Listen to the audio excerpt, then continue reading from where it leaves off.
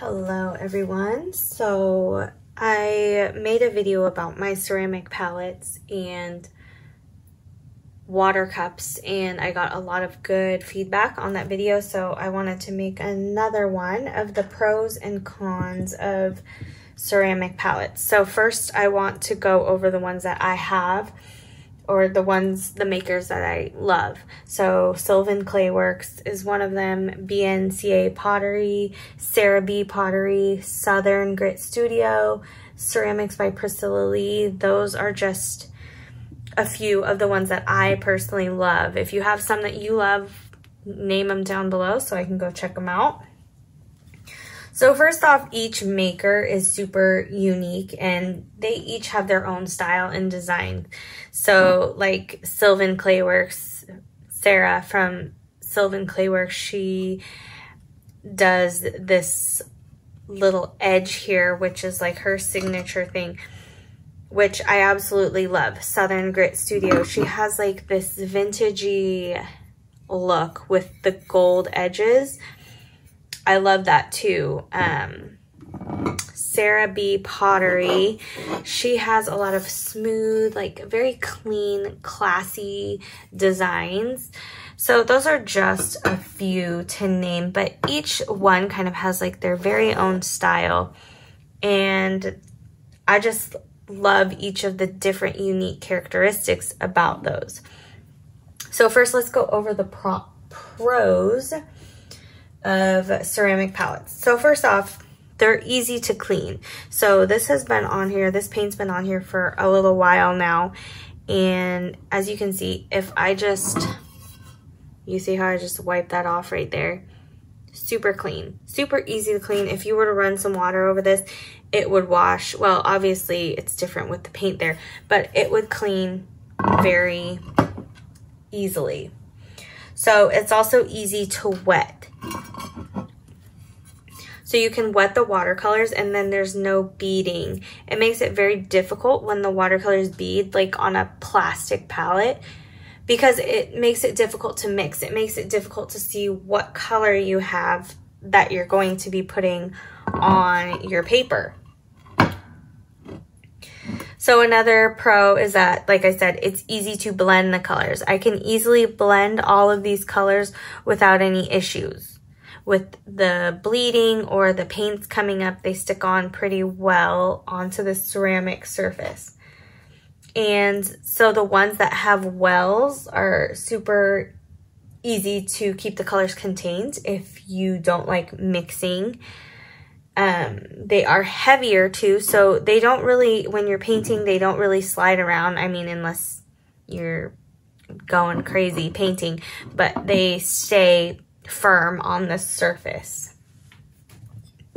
So let's now talk about the cons.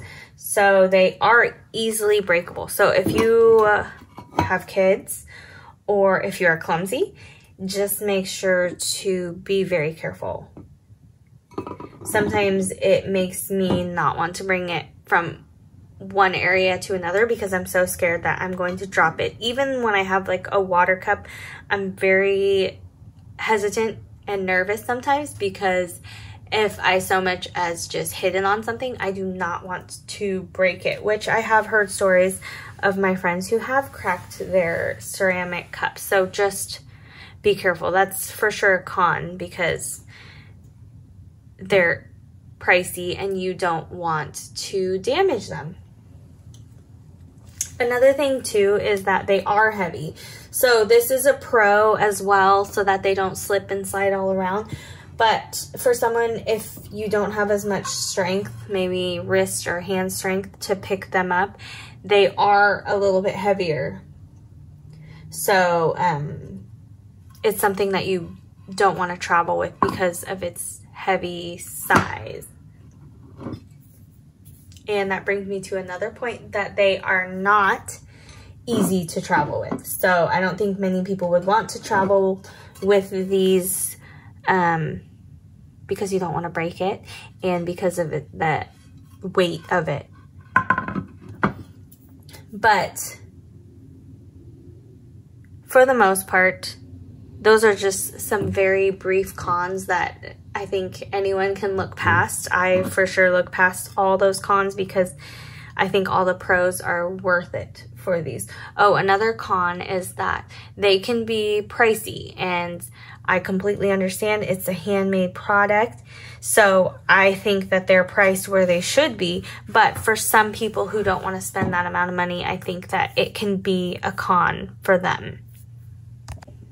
So for people who don't want to spend a lot of money on ceramic palettes, there are cheaper alternatives.